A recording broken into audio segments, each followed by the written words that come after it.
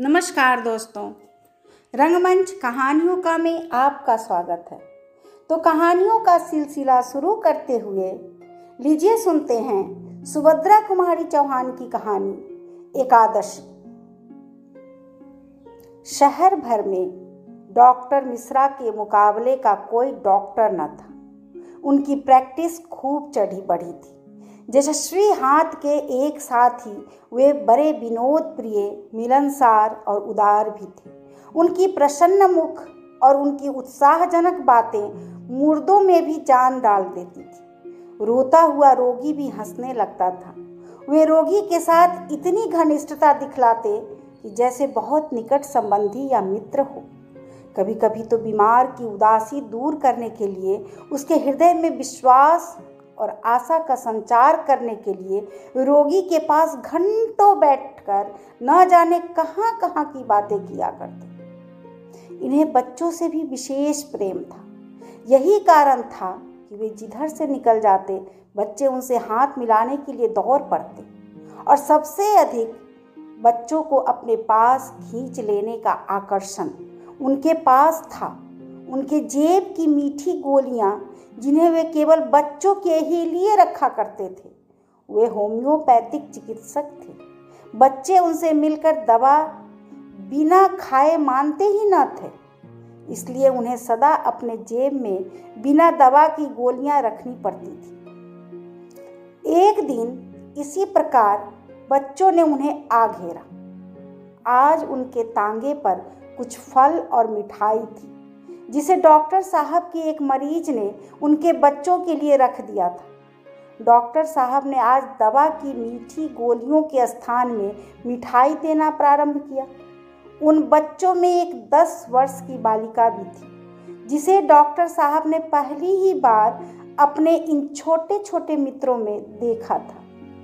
बालिका की मुखाकृति और विशेषकर आँखों में एक ऐसी भोली और चुभती हुई मुहकता थी कि उसे स्मरण रखने के लिए उसके मुँह की ओर दूसरी बार देखने की आवश्यकता न थी। दूसरे बच्चों की तरह डॉक्टर साहब ने उसे भी मिठाई देने के लिए हाथ बढ़ाया। किंतु बालिका ने कुछ लज्जा और कुछ संकोच के साथ सिमट कर सिर हिलाते हुए मिठाई लेने से इनकार कर दिया। यह बात जरा विचित्र सी थी कि बालक और बा, मिठाई ना लें। डॉक्टर ने एक की जगह दो लड्डू देते हुए उससे फिर बड़े प्रेम के साथ लेने के लिए आग्रह किया। बालिका ने फिर सिर हिलाकर अस्वीकृति की सूचना दी। तब डॉक्टर साहब ने पूछा, क्यों बिटिया, मिठाई क्यों नहीं लेती? आज एकादशी है। आज भी कोई मिठाई खाता है। डॉक्टर साहब हंस पड़े और बोले, यह इतने बच्चे खा रहे सो? आदमी खा सकते हैं, औरतें नहीं खाती। हमारी दादी कहती है कि हमें एकादशी के दिन अन्न नहीं खाना चाहिए। तो तुम एकादशी करती हो? क्यों नहीं? हमारी दादी कहती है कि हमें नेम धर्म से रहना चाहिए। डॉक्टर साहब ने दिन में बहुत से रोगी देखे, बहुत से बच्चों से प्यार किया और संभवतः दिन भर वह बालिका को भूले भी रहे। किंतु रात को जब सोने के लिए लैंप बुझाकर वे खाट पर लेटे तो बालिका की स्मृति उनके सामने आ गई। वह लज्जा और संकोच भरी आँख, वह भोला किंतु दृढ़ निश्चयी चेहरा, वह मिठाई न लेने की अस्वीकृति का चित्र उनकी आँखों के सामने खिंच गया। बाद में डॉक्टर साहब को मालूम हुआ कि वह एक दूर के मोहल्ले में रहती है। उसका पिता एक गरीब ब्राह्मण है, जो वहीं किसी मंदिर में पुजारी का काम करता है। अभी दो वर्ष हुए, जब बालिका का विवाह हुआ था और विवाह के छह महीने बाद ही वह विधवा भी हो गई। विधवा होते ही पुरानी प्रथा के अनुसार उसके बाल काट दिए गए थे। यही कारण था कि उसका सिर मुंडा हुआ था। उस परिवार में दो विधवाएँ थीं। एक तो पुजारी की बूढ़ी माँ, दूसरी यह अभाग्नि बालिका।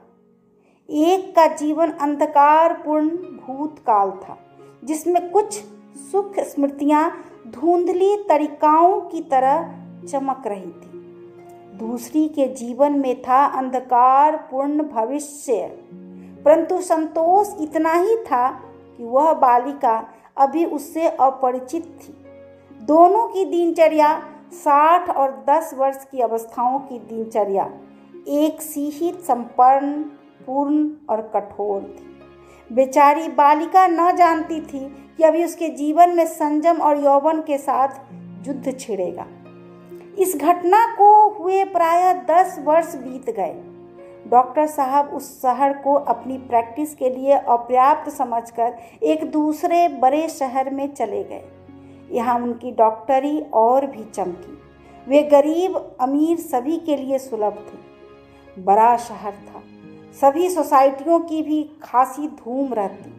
और हर एक सभा सोसाइटी वाले यह चाहते कि डॉक्टर मिश्रा सरीखे प्रभावशाली और मिलनसार व्यक्ति उनकी सभा के सदस्य हो जाएँ। किंतु डॉक्टर साहब को अपनी प्रैक्टिस से कम फुर्सत मिलती थी। वे इन बातों से दूर ही दूर रहा करते थे। इसी समय शुद्धि और संगठन की चर्चा ने ज़ोर पकड़ा। शताब्दियों से सोए हुए हिंदुओं ने जाना कि उनकी संख्या दिनों दिन कम होती जा रही है और विधर्मियों की विशेषकर मुसलमानों की संख्या बेहिसाब बढ़ रही है। यदि यही क्रम चलता रहा तो डेढ़ सौ वर्ष में बाद हिंदुस्तान में हिंदुओं का नाम मात्र भले ही रह जाए, किंतु हिंदू तो कहीं ढूंढे से भी न मिलेंगे। सभी मुसलमान हो जाएँगे। इसलिए धर्म भ्रष्ट हिंदू और दूसरे धर्म वालों को फिर से हिंदू बनाने और हिंदुओं की संगठन की सबको आवश्यकता मालूम होने लगी। आर्य समाज ने बहुत बड़ा आयोजन करके दस पाँच शुद्धियाँ भी कर डाली। हिंदू समाज में बड़ी हलचल मच गई। बहुत से खुश थे और बहुत से पुराने ख्याल वाले इन बातों को अनर्गल समझते थे। उधर मुसलमान भी उत्तेजित हो उठे। तंजीम और तबलीग की स्थापना कर दी गई। किंतु डॉक्टर मिश्रा पर इसका प्रभाव कुछ भी न पड़ता। हिंदू और मुसलमान दोनों ही समान रूप से उसके पास आते थे और दोनों की चिकित्सा दत्तचित्त होकर करते। दोनों जाति के बच्चों को समान भाव से प्यार करते। उनकी आँखों में हिंदुओं का शुद्धि संगठन और मुसलमानों का तंजीब तबलीग व्यर्थ के उत्पाद थे। एक दिन डॉक्टर साहब अपने दवा खाने में बैठे थे कि एक घबराया हुआ व्यक्ति, जो देखने से बहुत साधारण परिस्थिति का मुसलमान मालूम होता था, उन्हें बुलाने आया। डॉक्टर साहब के पूछने पर उसने बतलाया कि उसकी स्त्री बहुत बीमार है। लगभग एक साल पहले उसे बच्चा हुआ था। उस समय वह अपने माँ बाप के घर थी। देहात में उचित देखभाल न हो सकने के कारण वह बहुत बीमार हो गई। तब रहमान उसे अपने घर लिवा लाया। लेकिन दिनों दिन तबीयत खराब ही होती जाती है। डॉक्टर साहब उसके साथ तांगे पर बैठकर बीमार को देखने के लिए चल दिए। एक तंग गली के मोड़ पर तांगा रुक गया। यहीं जरा आगे कुलिया से निकलकर रहमान का घर था। मकान कच्चा था। सामने के दरवाजे पर एक टाट का पर्दा पड़ा था, जो दो तीन जगह से फटा हुआ था। उस पर किसी ने पान की पीक मार दी थी। जिससे मटियाला सा लाल धब्बा बन गया था। सामने जरा सी छपरी थी और बीच में एक कोठरी। यही कोठरी रहमान के सोने, उठने, बैठने की थी और यही रसोई घर भी थी। रहमान बीड़ी बनाया करता था। गीले दिनों में यही कोठरी बीड़ी बनाने का कारखाना भी बन जाती थी, क्योंकि छपरी में बौछार के मारे बैठना मुश्किल हो जाया करता था। कोठरी में दूसरी तरफ़ एक दरवाज़ा और था, जिससे दिख रहा था कि पीछे एक छोटी सी छपरी और है, जिसके कोने में टट्टी थी और टट्टी से कुछ कुछ दुर्गंध भी आ रही थी। रहमान पहले भीतर गया। डॉक्टर साहब दरवाजे के बाहर ही खड़े रहे। बाद में वे रहमान के बुलाने पर अंदर गए। उनके अंदर जाते ही एक मुर्गी, जैसे नवागंतुक के भय से कुड़कुड़ाती हुई पंख फड़फड़ाती हुई डॉक्टर साहब के पैरों के पास से बाहर निकल गई। डॉक्टर साहब के बैठने के लिए रहमान ने एक स्टूल रख दिया उसकी स्त्री खाट पर लेटी थी। वहाँ की गंदगी और कुंद हवा को देखकर डॉक्टर साहब घबरा गए। बीमार की नब्ज देखकर उन्होंने उसके फेफड़े को देखा, परंतु सिवा कमज़ोरी की और कोई बीमारी उन्हें न देख पड़ी। वे बोले, इन्हें कोई बीमारी तो नहीं है? यह सिर्फ़ बहुत ज़्यादा कमज़ोर है। आप इन्हें शोरबा देते हैं? रहमान, शोरबा? यह जब ले तब ना। मैं तो कह कह के तंग आ गया हूँ। यह कुछ खाती नहीं। दूध और साबुदाना खाती है। इससे कहीं ताकत आती है। क्यों डॉक्टर साहब क्यों? डॉक्टर साहब ने पूछा। क्या इन्हें शोरबे से परहेज है? रहमान परहेज, क्या होगा डॉक्टर साहब? कहती है कि हमें हजम ही नहीं होता। डॉक्टर साहब ने हंस कर कहा, वाह, हजम कैसे ना होगा? हम तो कहते हैं सब हजम होगा। डॉक्टर साहब इतनी मेहरबानी और कीजिएगा कि शोरबा इन्हें आप ही पिला जाइए, क्योंकि मैं जानता हूँ कि यह मेरी बात कभी न मानेगी। डॉक्टर साहब रहमान की स्त्री की तरफ़ मुड़कर बोले कहिए, आप हमारे कहने से तो शोरबा थोड़ा सा ले सकती हैं ना? हजम कराने का जिम्मा हम लेते हैं। उसने डॉक्टर के आग्रह का कोई उत्तर नहीं दिया। सिर्फ़ सिर हिलाकर अस्वीकृति की सूचना ही दी। उसके मुँह पर लज्जा और संकोच के भाव थे। उसका मुँह दूसरी तरफ़ था, जिससे साफ़ ज़ाहिर होता था कि वह डॉक्टर के सामने अपना मुँह ढांक लेना चाहती है। डॉक्टर साहब ने फिर आग्रह किया, आपको आज मेरे सामने थोड़ा शोरबा लेना ही पड़ेगा। उससे आपको ज़रूर फ़ायदा होगा। इस पर भी उसने अस्वीकृति सूचक सिर हिला दिया।